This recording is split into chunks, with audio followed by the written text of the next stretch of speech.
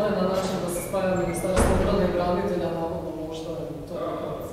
Pa gledajte, to sam pročitao u medijima isto kao i vi, mislim da je spajanje Ministarstva obrane i branitelja potpuno pogrešno. Ali ja mislim da Plenković to radi zbog toga što nema izbora.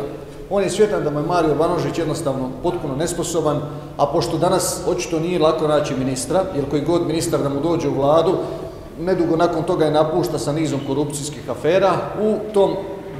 tom deficitu kadra kojeg očito HDZ ima, on nažalost nema izbora nego da spoji Ministarstvo branitelja i obrane, što je, vjerujte mi, jako loš i, i, i pogrešan potez, jer na taj način on se želi na neki način zaštititi od tih sukoba koje je do sada imao na liniji e, ministar Banožić i predsjednik Milanović, koji su očito se premijeru ne sviđaju.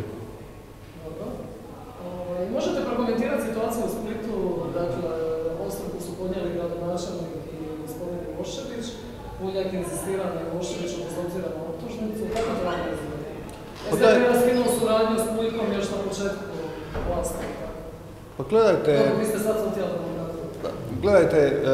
malo mi je to nezgodno komentirati jer mislim da je ovdje situacija više u jednu ruku,